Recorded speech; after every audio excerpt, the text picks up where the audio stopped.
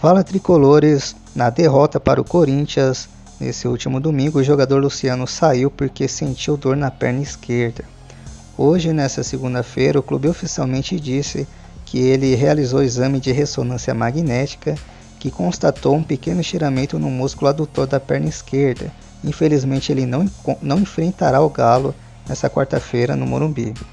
O jogador em suas redes sociais ainda disse que vai fazer o tratamento em três períodos para estar bem, para estar bem o mais rápido possível. E acredita que em breve estará fazendo aquilo que ele ama, que é ajudar o nosso tricolor.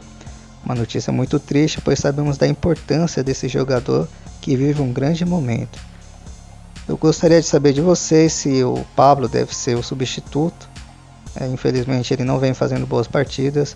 Quem você acha que deve jogar no lugar do Luciano e se ele fará falta nesse, nesse jogo contra o Atlético Mineiro que vale muito para o São Paulo? Deixe seu comentário, seu like e vamos tricolor.